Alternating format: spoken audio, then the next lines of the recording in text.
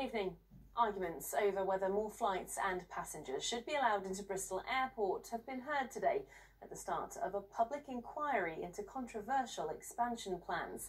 The airport's owners are appealing last year's local authority decision to reject the idea on grounds that it could add to the climate crisis. Richard Payne has our top story. Protesters dressed as pilots scaled the building hosting the inquiry to make their position clear.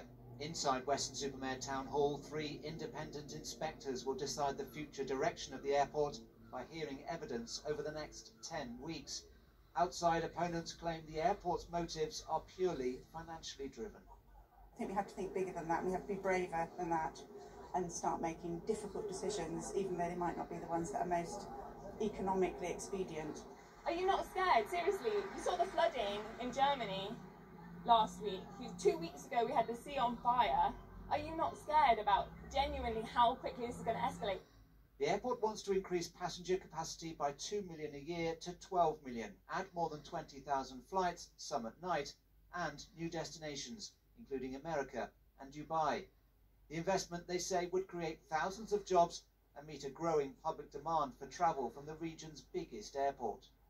We absolutely recognise the importance around moving to a lower carbon future. And that's why we're at the forefront. We've reflected, we've listened, and importantly, we've set ourselves an ambitious target as an airport to be net carbon zero in terms of our operations here at Bristol Airport by 2030.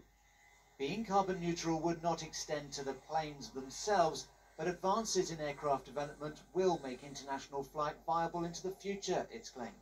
Our plans are absolutely aligned to uh, government policy in terms of making best use of capacity of regional airports, the importance that regional airports have. So in that respect, absolutely, we're confident. It's the right thing to do for our region.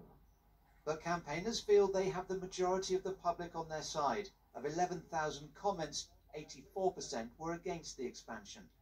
Stephen Clark says the appeal by the airport's billionaire owners the Ontario Teachers Pension Plan came as no surprise.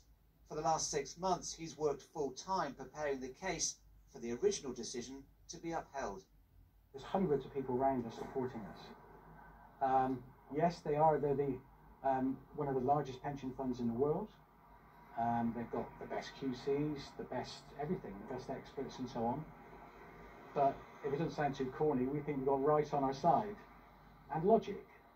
We're not trying to close it down, but we're just saying it's big enough. They've already got room for expansion within their existing planning permission. Post-COVID, campaigners say business passengers will never return to the skies in the same numbers, but embrace new technology instead.